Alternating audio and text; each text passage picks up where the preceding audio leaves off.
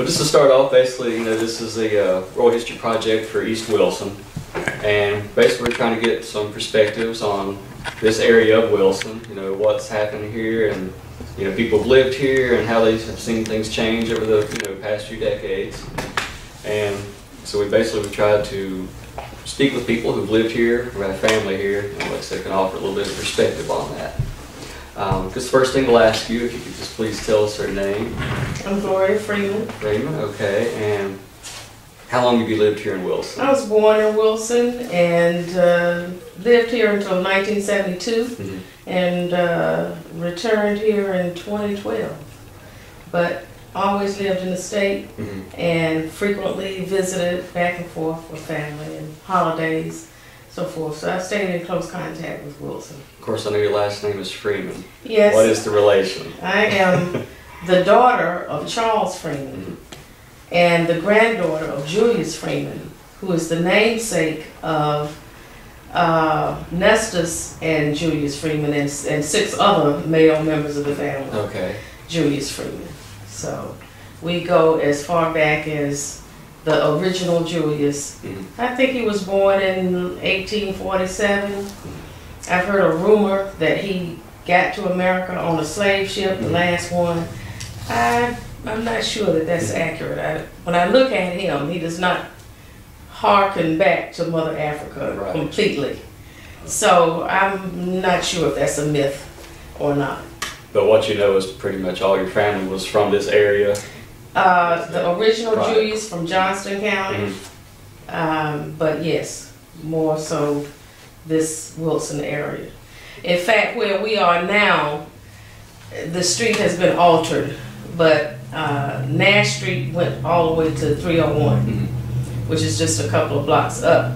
And we lived on the south side of Nash Street. My immediate family, my father and his six children.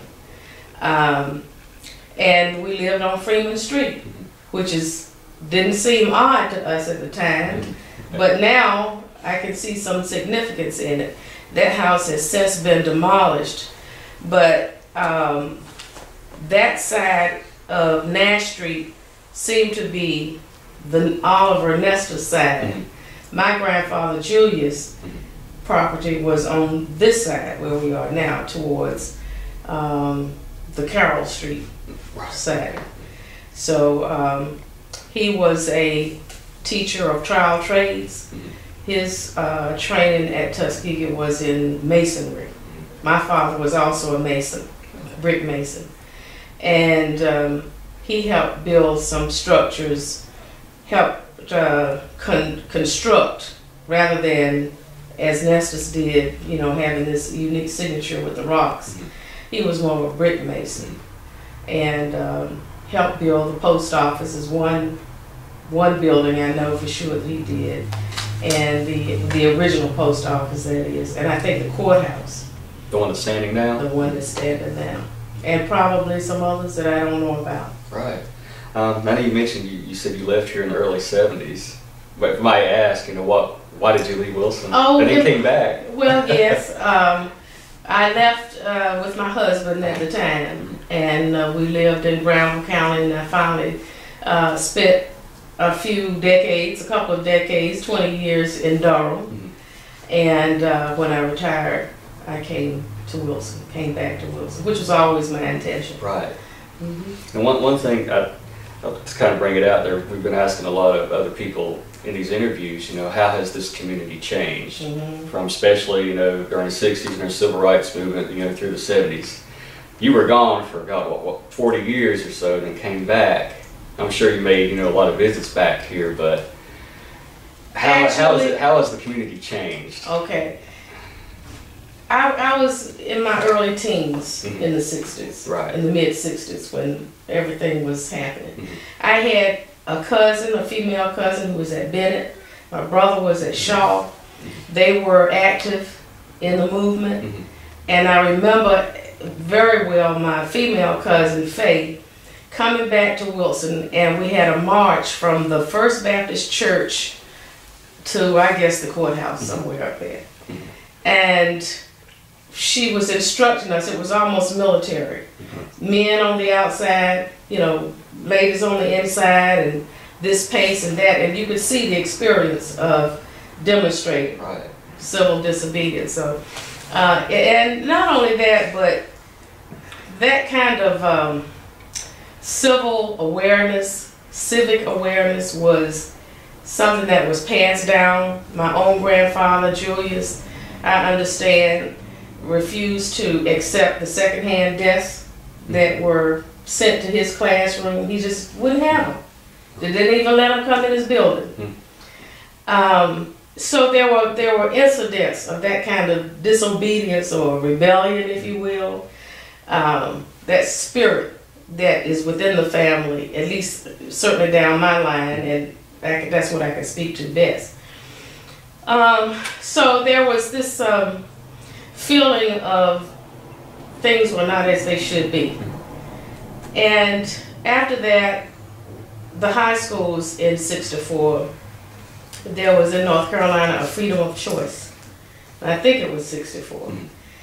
And without a thought, I never deliberated. It just, I just wrote down Fike high school. Mhm. No, you know, and my grandmother didn't object. She didn't instruct or direct or advise. She asked me what did I do, and I told her. So it was all good. At that time, Fike High School was a brand new school, wasn't it? I don't know if it was new or not, Right. but I knew it was a white high school, Mhm. and we had a chance to go. Yeah. And uh, so I left Darden High School, a historically black school, in the like ninth grade. So I started fighting in tenth grade. Well, what was the community like before that? We had businesses, we had leaders, uh, we had people who, who, who we could go to and who helped us. Mr. and Mrs. Miller were, you know, excellent role models. Um, we had classes in etiquette. We had Girl Scout. Um, my cousin, Mary Frances, this Oliver's uh, daughter, was very instrumental in that because her mother had been employed by the Washingtons. And they were known to know how to do things correctly and uh, how young ladies should behave. We had um, a civic club. We had the Mary McLeod Bethune Civic Club for women. And then we had the Marian Anderson Young Ladies Civic Club for the second generation. So there was organization in the community.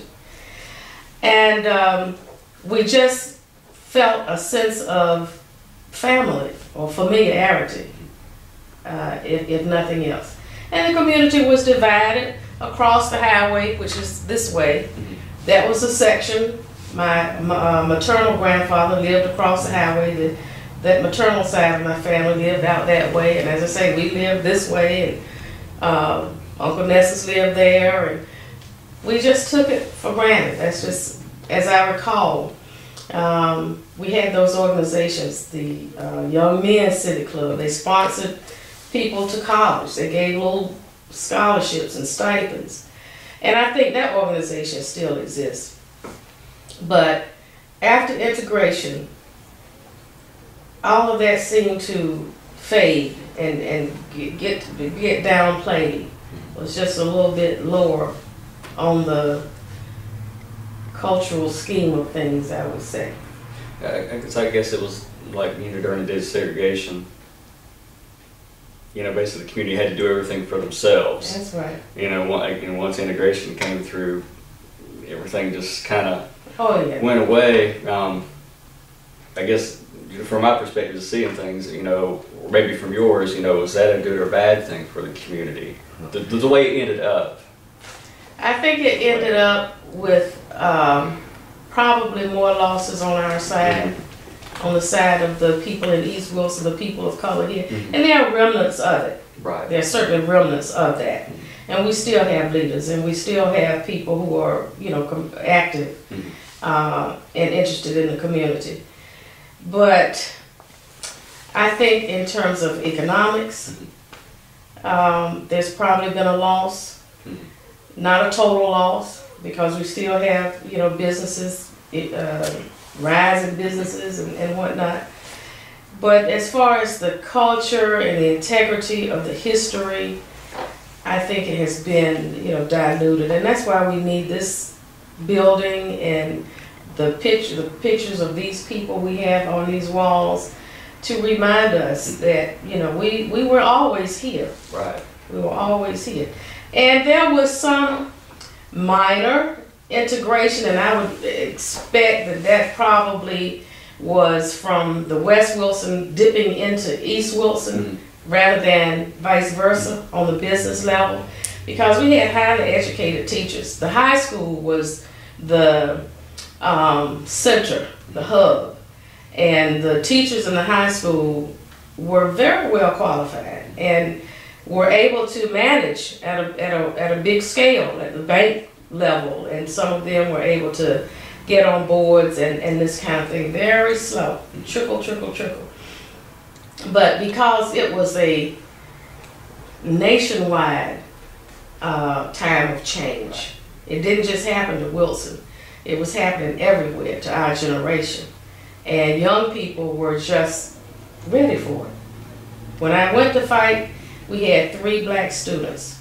Patricia Fitch was a senior, Ernestine Fitch was a junior, I was a sophomore.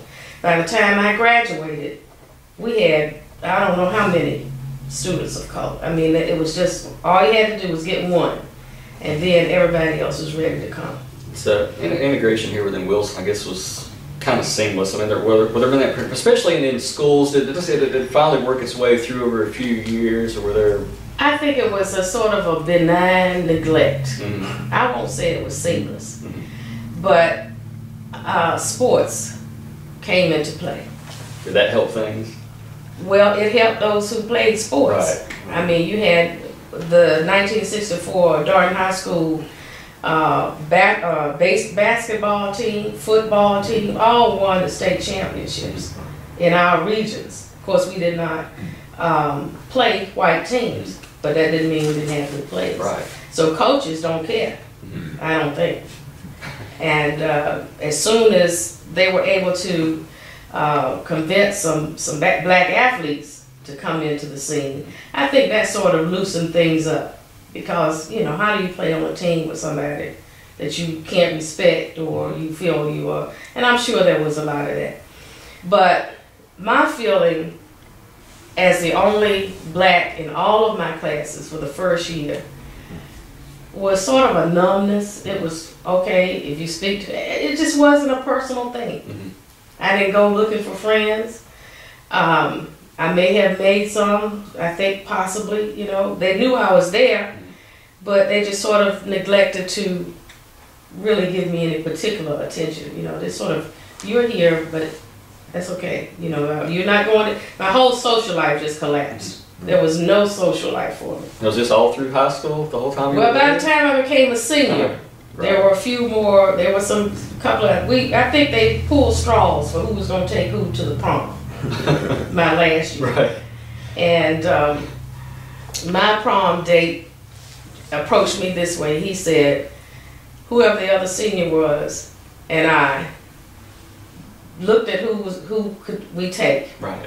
and he decided on this one, and, and he I, I have you." Something to that effect. Right. Right. You know, we got together and talked about it. Mhm. And it could be that that was the first year that the prom was integrated. You know, I really don't know for sure. Right. Because, you know, if they, that, I think there might have been a conscious effort to say, okay, we are going to the prom. Um, about school colors. Now, that's interesting um, Yeah. that we were just discussing that a little bit. The school colors at Fike were gray, mm-hmm. Confederate gray. right. Wow. They didn't change. Mm-hmm. I, my graduation picture mm-hmm. is in a gray uniform, robe. And obviously Dixie was the, the pep song of the band. It. Wow. And I, this is why I say sort of benign neglect because no one took our interests at heart. Mm-hmm. None of the teachers, white teachers, you know, seemed to, history teachers even, you know, it looked like they would have said, well, you know, maybe we ought to change something or the principles or whatever. Mm-hmm. Not that I was ever mistreated. Mm-hmm. Of course, we had some discussions over the pronunciation of the word Negro. Um, and that was kind of blew over, you know, without too much consequence. I do remember when Dr. King was killed, I was just so frustrated and I didn't know what to do. And then I just went and sat under a tree. I didn't go to class. I just sat under a tree on, on the campus. And I think the first and only time that the principal had ever spoken to me was he came out there and said, What what did I want? What was wrong with me? It should have seemed obvious. Right, Yeah. But um, whatever the case may be, that's, that's the part of it that I remember. right. So I don't think we got any uh, help. Mhm. Now, once the faculty integrated, which was my, my junior year, uh, and it integrated with a French teacher. Mhm. So, you know, uh, the, the Darden uh, faculty lost its French teacher. Mhm. And as that went on, and of course, always the best go 1st Mhm. So, and not that all, all the teachers weren't good, but there were some who apparently, I don't know if they decided, I don't know if the school board assigned them, I don't know how they got over there. But one by one, they started coming. Now, were you still living here whenever Darden closed? I think I was about to leave. I graduated in 1968. Mhm. I think their last class was 1969 or 1970, somewhere in there, because there was a half year Mhm. somehow or other, and I don't really know how that works. Somebody could probably tell you. But there were some people who graduated in like 69 and a half or something along that line. Now, do, do you remember or re- recall at all, you know, I guess with integration, was Darden pretty much put on the chopping block because of that? I think everything black was just just allowed to go away. Nobody wanted to pay attention to it. So really, there was no integration into the black schools. It was just the white schools. That was basically how it was. Early on, at, at some point, I think Darden did begin to receive some white students. I believe it was a 10th grade school. It was just all 10th grade. Right. So everybody in the 10th grade went to Darden. Mhm. But I was leaving about that time. I was, Right. by then, I was sort of out of that high school scene. Mhm. Okay. And I don't, I, I, and that's the last of it being a high school. Mhm. Whenever it became an all 10th grade school. Right. And now I think it's just a like seventh or eighth or something grade school. Yeah, that, that's right. That's right. But among the black schools, we had these A's, like a double A and a triple A, and maybe a one A, two A, three A. That was the way the schools were identified based on population, I think. Mhm. And we were, I guess, a four A school. And among the four A schools, Darden High School was a big deal. Mhm. Every black high school was a big deal in its county. Mhm. And of course, you had the best of everything that was black. Right. So you had some good things going in and coming out. Mhm. Smart students. We had some brilliant students. Musicians that went on to be professionals. You name it. Doctors, lawyers, we, we, all of that came out of black schools. Now, I guess it was just like I guess it's instilled that in everybody to be good. Yeah, the best that you can. Right. Exactly. And to understand that nothing is going to be given to you, that it's going to be a struggle, that you're going to have to do better than everybody else, la la la. I hated that so bad. Then it would seem to me once the integration, you, you didn't. I guess you didn't have a lot of the black faculty like you had No, at the no, schools to help reinforce that. No one. No. Mm-mm. So I, I guess in your case, it felt like you were kind of on your own in a way. You were, you were. As I said, when the choice just came to me instantly, there was no forethought. It was just, I'm, I'm going to do this. Right. And that might be a personality trait or a genetic something, I don't know. Um, but I will say that I had one teacher that first year at Fike who made a difference. She was an English teacher. Um, and she gave me decent grades Mhm. in English. Mhm. I think she, um, I don't know, understood. or- It, it, she just didn't seem to have a problem with me being black in her class and being treated like everybody else. Right. So I remember her well, and she she made me think that I could be good at writing. Do you remember her name? I'm trying to come up with it right now. I do not. But she herself was kind of a, a free spirit. Right, right. I mean, we, we kind of could, you know, I, I don't know what to say my relationship with my classmates were at Fike. I would love to know what they thought of me. Um, but we were just students. We were just high schoolers. And it's just, but so, you can only be but so estranged. Right. Now, I, I don't think the boys ever thought that they could speak to me. Mhm. I don't even know that any, any of them ever passed a word. I don't know what they thought. Mhm. But the girls, you know, there were, you know, women are much more inclined to, you know, be, be friendly and so forth. So, um, we, we did sort of have that. And, and I would say that there were a couple. But that lady, I don't remember her name. But, but what I'm getting to is sort of there's a nonverbal, even if you're not having a dialogue, you're not speaking to each other. You don't, you know, I think they didn't want to get to where it looked like they were too friendly, you know, or they were trying to make me their friend or whatever. Um, but I think it was generally understood that she was something was behind her. You know, she Right. had more than just what she was bringing to the classroom. Right, right. Um, now you said you grew up in off of uh, Freeman Street. I was born on Freeman Freeman. Street. My father died in 1960, Mhm. And we moved from Freeman Street up to my grandfather's house on the corner of Washington and Carroll, which was like night and day. Really? That's a big two-story brick house. We had we had a little three-room um, in-way house. No no comparison. My, my grandfather was a teacher up there at high school. You know, my grandmother had thirteen good-looking, smart, um, mischievous children. So everybody had one of them in their generation. Right. You know, in their class. So it was just you're one of those Freemans. You know, I can look at it. I know you're a Freeman. Are you a Freeman? So and so was in my class. And with eight sons, you know they had to get in trouble. They had, they made a reputation. They were they, they, they, were popular with the girls, you know. So and it was a friendly thing. No, no, nobody was you know upset. It was just so many of them. How was that neighborhood growing up? Well, the neighborhood on Washington Street. th- This was a this was a t- time in my life when I'm leaving uh, a very close neighborhood. Freeman Street was maybe um, two blocks long Mhm. from Powell Street to uh, what the Wainwright Street there, and we were close. I thought we were. I mean, I still have those friends. It's been a long time, but I still consider them as friends, and I consider that we grew up together. Um, and there were big families, Right.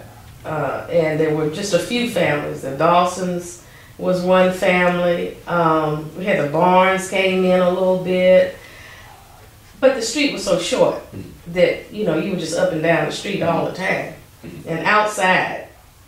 So you didn't. You were always somewhere with somebody playing jack rocks or getting in the mud barefoot. Or I remember when they put water, the water uh, pipes in the street, Right. and we jumping over the ditch and that type of thing. It was just youth, you know. But when we moved here, it was different. Across the street was the principal of the elementary school, you know. And that right there was a, you know, that was kind of put you in check. And then down the street was, you know, the history teacher, or, you know, the social studies teacher. Down there was somebody else, and it was a much longer street.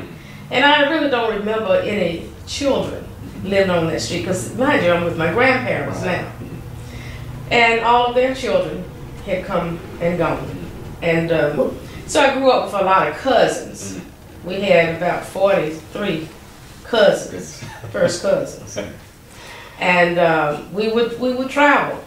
We did do that. We would go to New York one time, and we would go to Maryland a lot. We went to Virginia. They would come home because we were living with their mother and bring their children.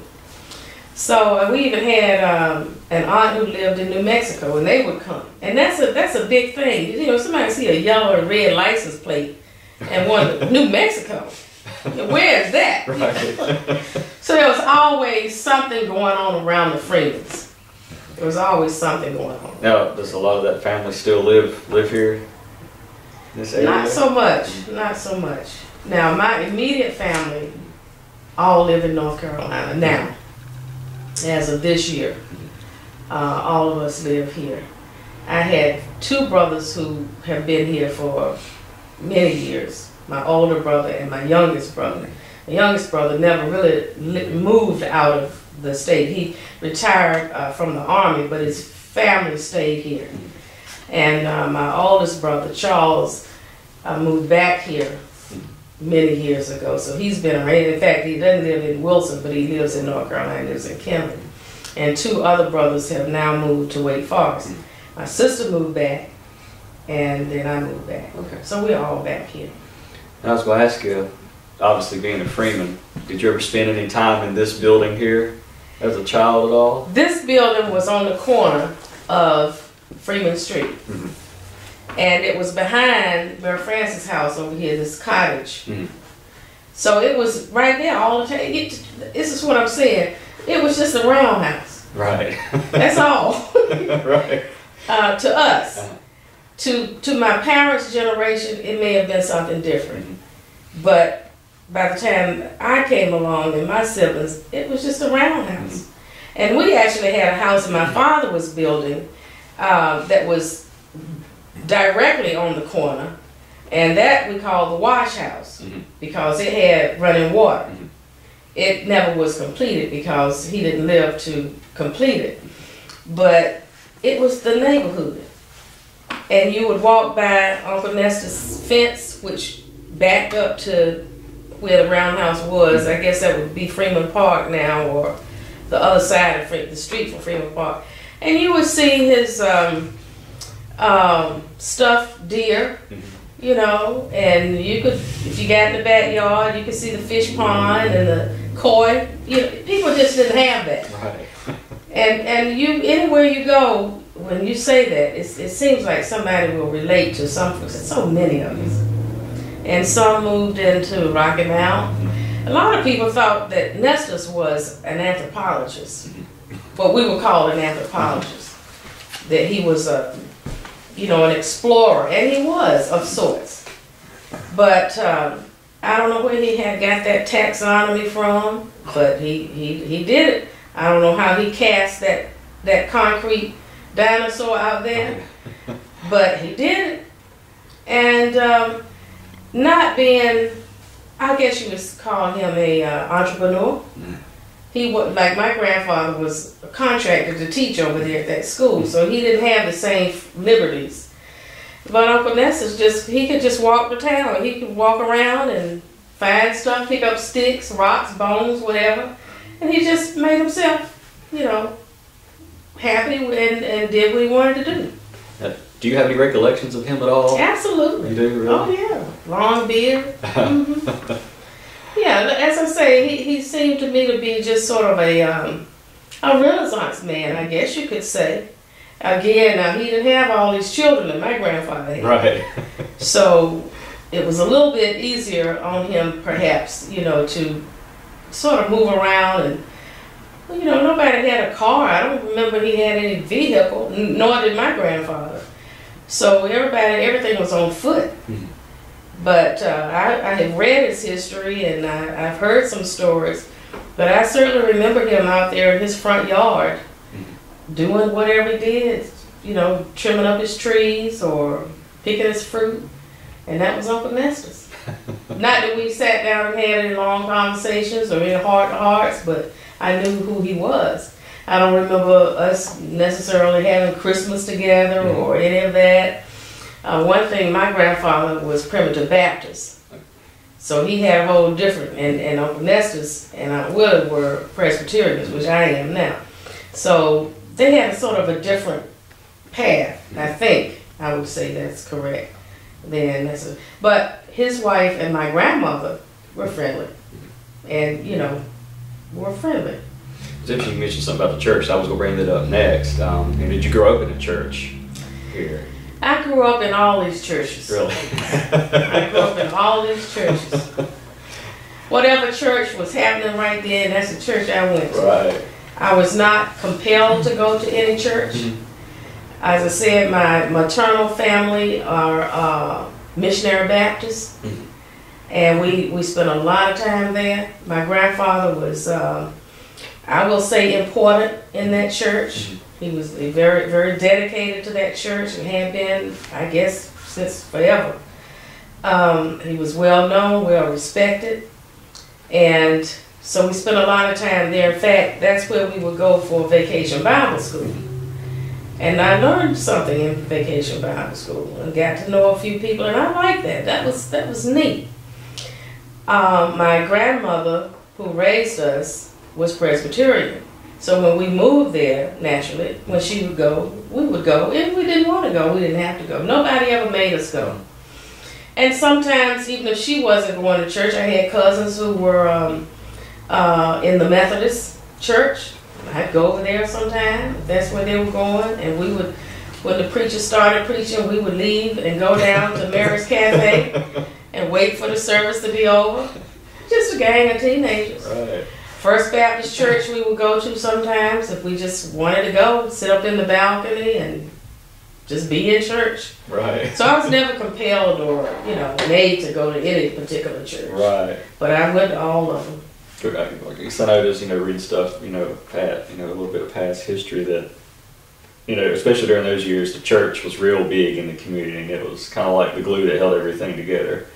Was it? Was it for you or your family? Now that would not be my generation. Right. Not at all. That would be my grandmother and grandfather's. I would think that that probably was. In fact, I can tell you, my um, the pastor at my grandmother's church used to come and play pinochle Mhm. with my aunts when they would come, aunts and uncles when they would come home. I learned how to play pinochle like at ten or eleven. Or Right. something. You know, nobody knows pinochle. You, you, you play some pinochle, please. so we were. There were things that they brought because my uncles and aunts all lived all over the world, Mhm. not just New Mexico, but you know, ones in the service lived overseas and Mhm. they brought wives, and it didn't start with that generation. Even my grandfather's generation, his brother uh, Joseph, I think he had four wives, and uh, uh, one of them was Danish, and you know, just all of it. And not only that, Joe was an interesting character too. He was the youngest of the uh, eight boys of the original Julius. Mhm. And he started out, I think, in Maryland at a school, uh, a historically black school in Maryland, or I, it, the name of it doesn't come, it's not Morgan State, but it was, it was a little school, Lincoln, I think, Lincoln University. And he, he told me this. He, he didn't like that, and he my, he's probably too far away from his people, you know, from home. He's just wandered off somewhere. and he walked, he said, down to Tuskegee, where his brothers were. And his was the last class that Booker T. Washington was the administrator. That's how far back it was. But his career, he said he was a Buffalo soldier. Mhm. He said that his troop rode a thousand miles behind Pancho Villa. That's what he told me. Right. And he never wanted to see a horse after that. And I don't blame him. But also, he worked for the post office, and he was a socialist during the time when socialism was not, you know, too well received. Right. And um, so he lost his job at the post office, but he also sued the post office for that. And they uh, re- reimbursed him. Really.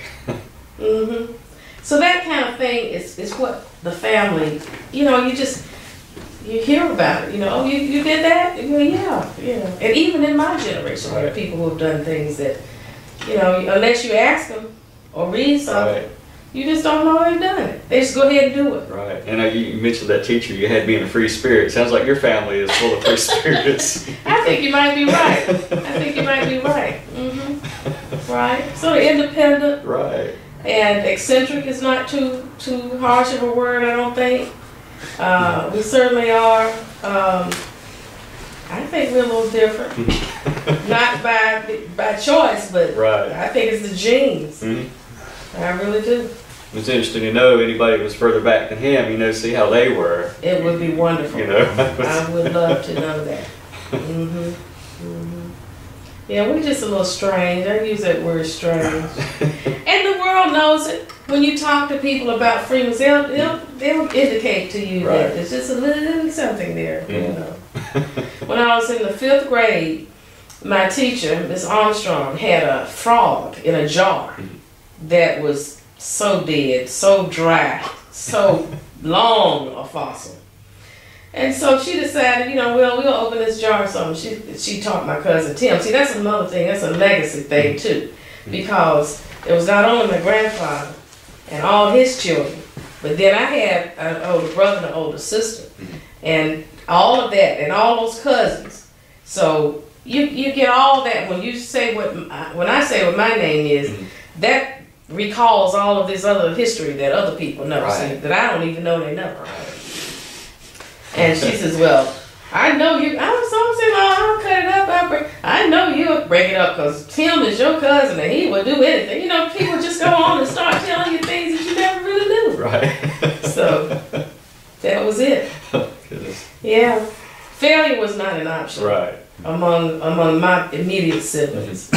Our parents um, were both had both died by 1960, so you know we were six very young children, and um, it was it was you just understood it that you you know you just have to do the best you can and, and make it. It's like you were you were forced to learn things yourself in a way, I guess. Well, we felt the obligation to make something of ourselves to the extent that we wouldn't be a burden on anybody else. I, that's that's the way Right. I look at it. You know, so and, and we did that. We worked, we worked jobs, we worked um, agriculture. You know, we started working like eight or nine years old. We we started all of us started working around that age. Now, did all of you live with your grandparents? Four the four oldest of us, Okay.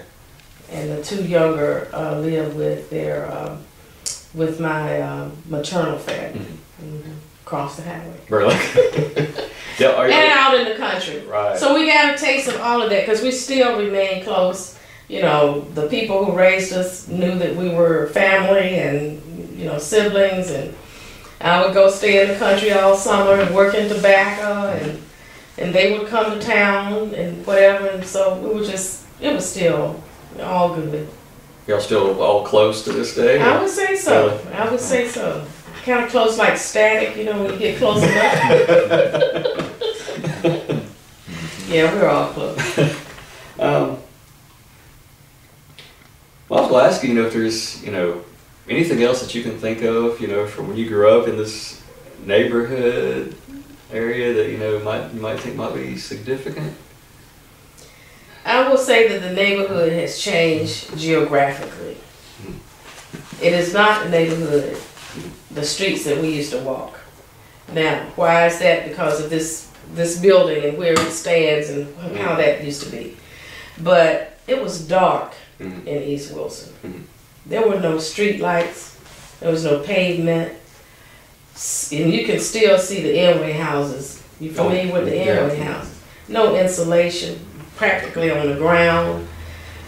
And when did Hines Street come through here? Do you remember? That? Street was um, a devastation for this community because it took half of Uncle Nestus' yard, Mhm.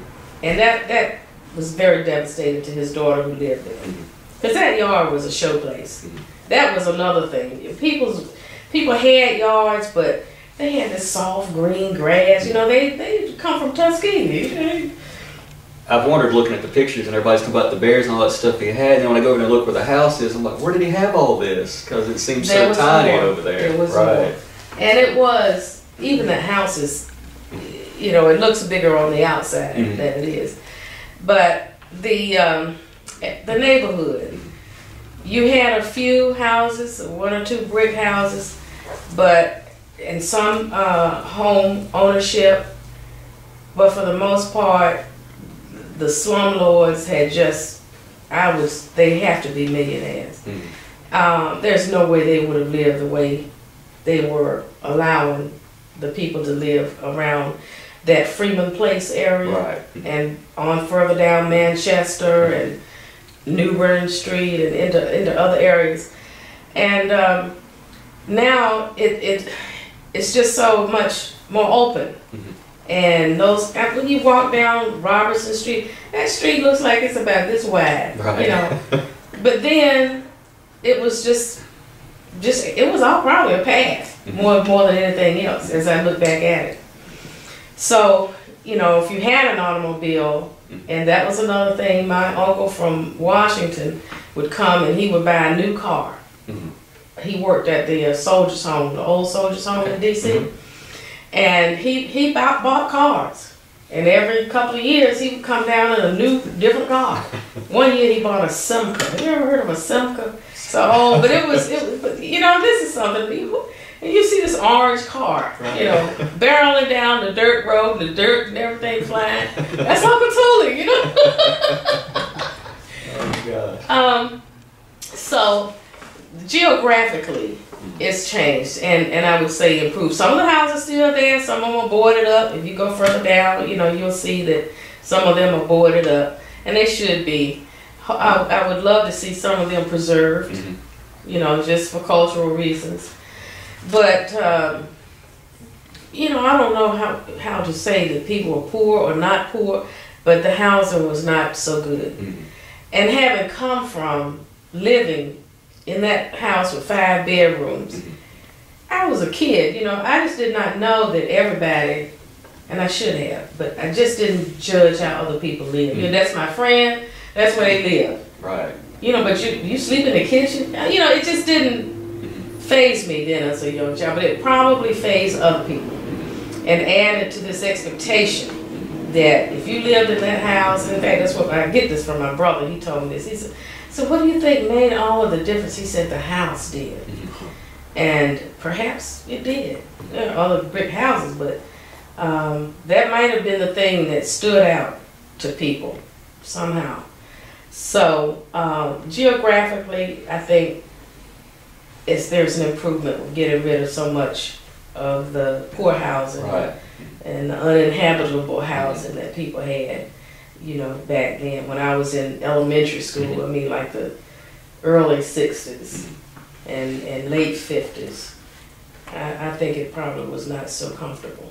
Right. Mm-hmm. And did um, when they put 301 out there, did that change things too? Well, 301 was always there in my memory. Remember? Okay. Yeah, because you had to cross the highway. Mhm. So, uh, 30, we used to just walk across 301 like people do now, you know, just like you walk across Nash Street. Mhm. We just walk across there when we would leave here. My, this house that I grew up in is, um, is, uh, 1114 Washington. Well, when you get across the highway, it's the same, you know, you're just on the other side of the highway. Right. So um, you just walked wherever you were going, and if you was on the other side of 301, you went on over there. Right. Just walk right on across the highway. How about that? I know one thing I haven't asked a lot of people because we've been concentrating more in this area closer to downtown. But when you go over there about 301, were there a lot more businesses over there than what there Um, are now? Mm, yes, I think there were more businesses because 301 was a major thoroughfare. Until they built 95. Right.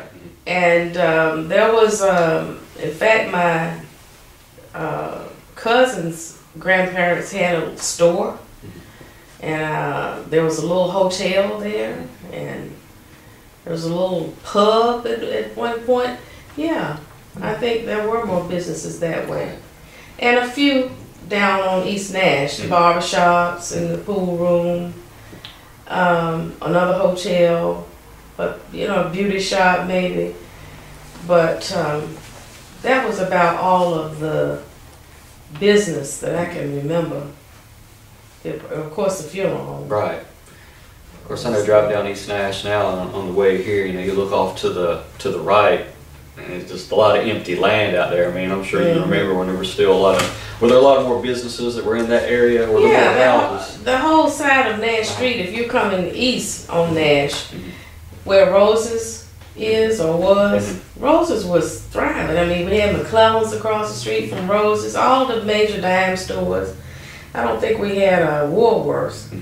but we had McClellan's, we had Belks, we had we had a couple of um, private people, like there were some ladies' dress shops Mhm. in there that were owned by families or individuals.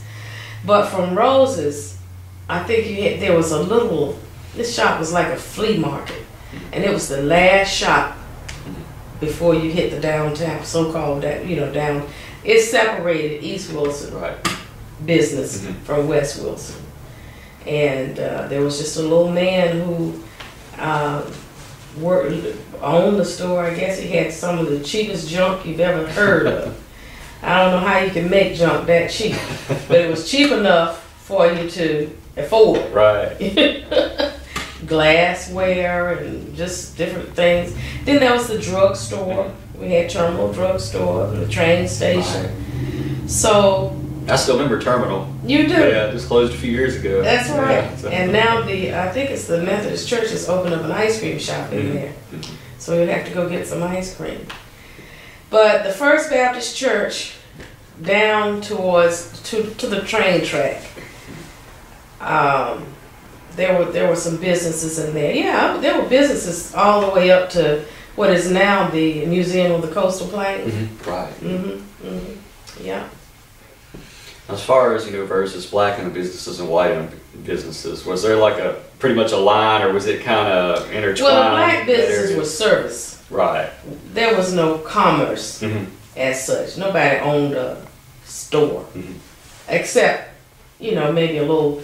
We had little stores. What this generation would call it a convenience store. For us, it was just a little little store. Right. My grandfather had one of those for a little while after he uh, retired from um, Hackney Body Shop. It used to be Hackney Wagon Right.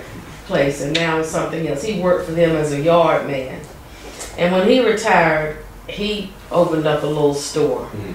And uh, we had a little. There was a little store on Nash Street here. This now gone, Kirby Sutton, and he had a he, his store thrived. Mhm. He had meat. He had you know pickles. He had food, produce, and that you could get that in his store, like a grocery store. After his store closed, the man who had worked for him opened another store, which I think was on Vick Street, a little bigger store, but it was like a miniature grocery store, because you know you unless you had a car, you didn't get to Piggly Wiggly or A and P, and you just didn't go get up there. I don't know who shopped up there from this community. Right. Now, my grandmother got her driver's license and a car at the age of 60, which is another thing. 60 years old, she bought herself a car learned how to drive. Well, we would drive up there, and she would take her friends, Mhm. and they would go to, I think it was A and P where Piggly Wiggly is, or Winn Dixie is over there. So she probably started black folk going in there, you know. I'll tell you something else about her. So the genes may be on both sides. She would go to people, they would ride the white neighborhoods in her car. What was she driving? Do you remember? She first she had a Galaxie, Uh-huh. a Ford Galaxie. That was the first one that was used, Mhm. and um, and she paid five hundred dollars for that car. I remember holding the money, Mhm. And because I wanted to see what it felt like hold five hundred. Right. But ev- after that, there were new cars. right. So she didn't keep that Ford too long. But I don't remember what she. But she went to Chevy's after that, Right. And she probably had five. You know, and that probably picked up people's ears. Oh, that lady is driving a car. You know. Um, You said she just liked driving around those neighborhoods. she That- yeah she she drove around in those neighborhoods and she would stop and ask the people to let her go in the house Really. and they would some of them would let her go in and look around and see and I, I do that too I don't go in strange houses I don't do that. Right. but when I go to someone's house I like to look around in the house Right. and just see what the house looks like I think that's part of the building the builder Mm-hmm. uh, I think building is part of. I mean, you know, even my oldest brother, he he's a builder, and um, several of my brothers, well, another one at least anyway, is it's kind of nice to see things built, paint, and mm-hmm. you know, nails and wood and that type of Did thing. you ever get anything like that yourself? Or? Well, I may have. You may have. I may have a little iota of Right, that in right. somewhere. That's a different subject. Really? Okay. But I do like buildings. right. Right. I like structures. Right. If I go somewhere, I want to see the buildings. Mhm. Take me to the post office. Mhm. Show me, you know, the bank. Mhm. I don't care about too much of that other stuff, but Right. I like to. I do like buildings. I sure do. A little bit of architecture in there. Uh, yeah, Just a little. maybe so. Maybe so. All right. Was there anything that you wanted to add I don't think so. go to this? Okay. I'm real curious about, tell me the, um, the socialist was your, He was a communist. and who- how, what was his relation? He is. Uh, he was Uncle Nestus' brother. He was my grandfather's brother, so he would be my uncle. So He was What is Communist it? Party. Uh-huh. Yeah. I was once Communist Party. That's why I'm curious, Okay. years ago.